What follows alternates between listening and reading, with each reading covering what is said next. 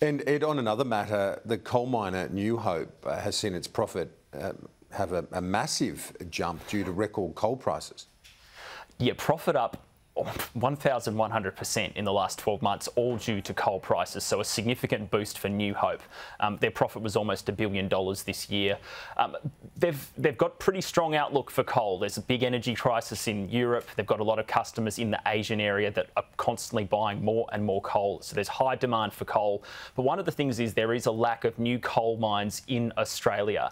And BHP just have decided to close the Mount Arthur coal mine in the Hunter Valley in 2030. That's 50 15 years earlier than expected. So I got a chance to speak to the chief executive of New Hope about the potential for that mine potentially running longer by someone else taking over that mine. I'm not saying it could be New Hope, but it could be someone. This is his response.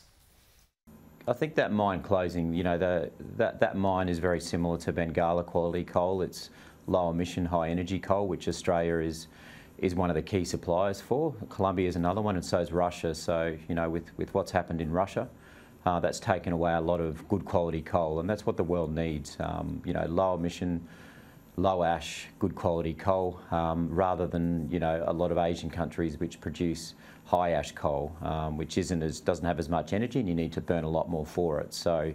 By closing down or, or you know sterilising all of that resource there, it just means that the world's going to have to push to other other sources, which will be of a higher ash nature, which just isn't good for the transition away from from fossil fuels.